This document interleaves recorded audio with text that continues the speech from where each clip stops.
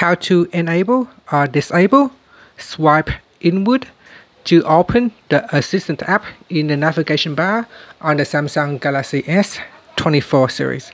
First, let's go back to the home screen by swiping up at the bottom of the screen.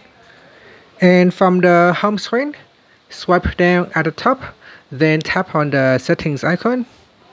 Next, in the settings page, scroll down, then tap on display.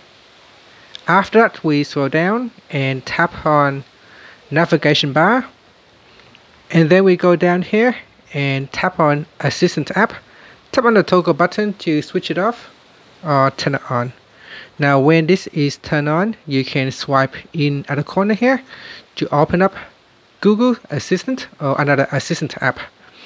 So you can swipe in from the left or on the right hand corner and this will allow you to open up the Assistant, uh, Assistant app. And that's it. Thank you for watching this video. Please like and subscribe to my channel for more videos you can see when I uh, turn it off if I swipe it on the corner uh, it will not open up the assistant app and that's it thank you for watching